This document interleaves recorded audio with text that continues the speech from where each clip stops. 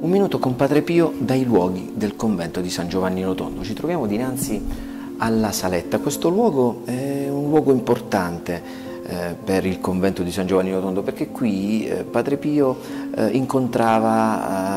le persone, degli ospiti, era anche un luogo dove si intratteneva anche a colloquiare con i suoi confratelli e come ci racconta la cronistoria del convento questo, eh, questo luogo era un luogo che nel primo periodo, dal 1910 al 32, eh, era un luogo abilitato a, come camerata dei giovani eh, seminaristi e poi in questa sala si intratteneva con i confratelli per la ricreazione, ecco, dando dei piccoli pensieri. E proprio qui, proprio qui, si tratta di un episodio che ha ascoltato da padre Tarcisio da Cervinara e poi raccontato nel suo piccolo libricino detti aneddoti su Padre Pio, proprio padre Costantino Capobianco, ehm, ha ascoltato un'espressione, un'affermazione eh, di eh, Padre Pio da Pietrelcina. Eh, e lui disse, erano proprio qui, dicono che ehm, Napoleone faceva quattro cose insieme, io ne faccio almeno tre, diceva Padre Pio eh, e questo appunto eh, servirebbe anche a capire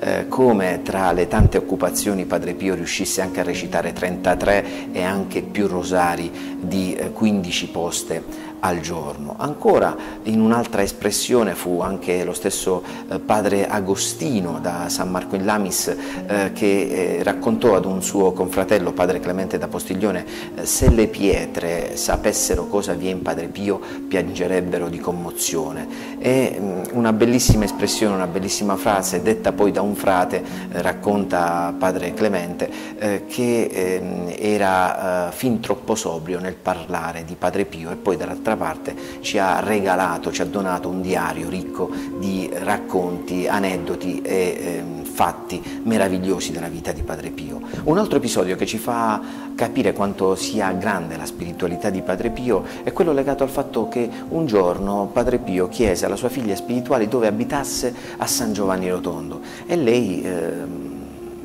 era un po' sbalordita perché, ma padre, lei è stato eh, da me eh, in bilocazione eh, proprio giorni fa quando mi ha confortato in quel periodo drammatico che stavo vivendo. E padre Pio rispose, io vengo solo a vedere l'anima.